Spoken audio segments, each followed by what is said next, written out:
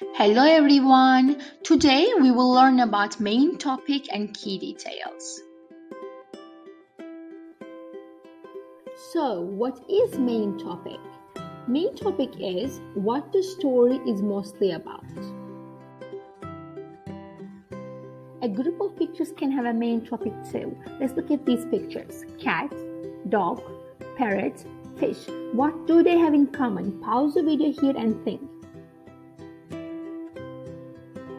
Pets. They are all pets. So the main topic for these pictures is pets.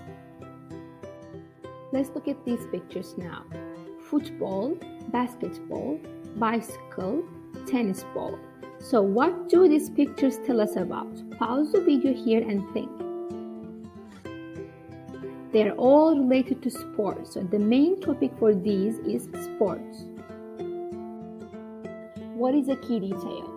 Key details tell us more about the main topic. Let's read a very short story together. The title of our story is Birthday Balloons, Presents, Candles. So, what is the main topic of this story? And what are the key details? Let's think. Our story has things that you have in a birthday party. So the main topic is birthday party. And the key details that supports it balloons, presents, and candles.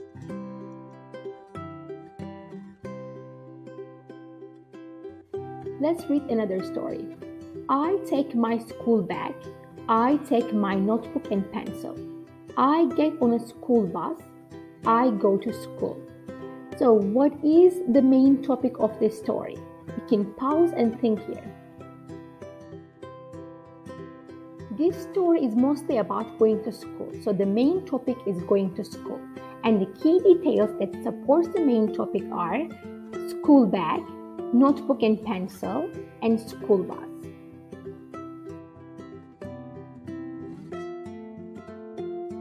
Now it is time for you to practice.